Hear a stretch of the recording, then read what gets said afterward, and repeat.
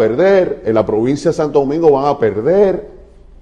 ¿eh? Entonces esa convergencia de que donde no hay acuerdo, como en Cotuí, Wilson va a ganar, Wilson es el candidato de el- la fuerza del pueblo, pero van solos, y ahí los PLDistas saben que es Wilson que está ganando, van a mandar por votar por Wilson, eso se va de Santo Domingo Este con, con Peláez.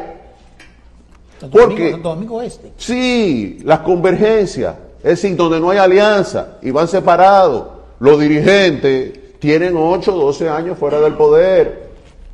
Aquí hay un problema más allá de lo político, aquí hay un problema económico. Entonces los dirigentes buscan el empleo, buscan la movilidad social y se van a ir a esa tendencia hacia donde puedan ganar. Bien. Y ese es el problema de Luis.